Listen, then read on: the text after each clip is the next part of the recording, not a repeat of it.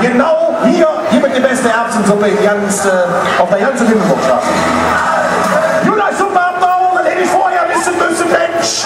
Da wäre er mit den 10 Cent nicht ausgekommen. Auf 20 waren das ja.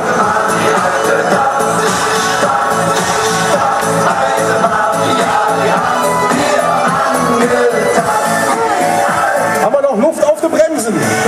Ist doch alles gut. Wunderbar.